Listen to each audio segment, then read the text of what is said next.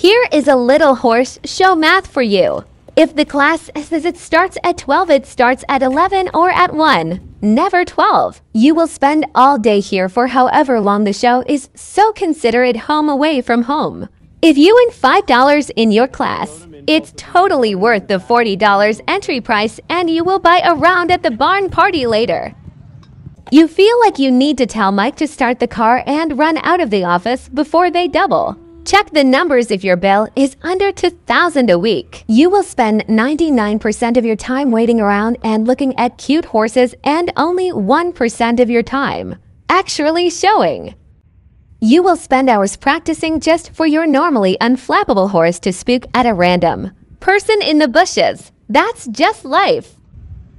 Anything that can go wrong will go wrong, so plan accordingly. If you tell your horse they are going to a show, a shoe will magically get lost or they will go lame between the field the trailer only to be. Fine when turned out again. You will spend way too much time standing at the in gate. So make friends with the lovely people who work there. They tell the best stories. You'll be crazy enough to do it all again next time with a smile because horses are everything.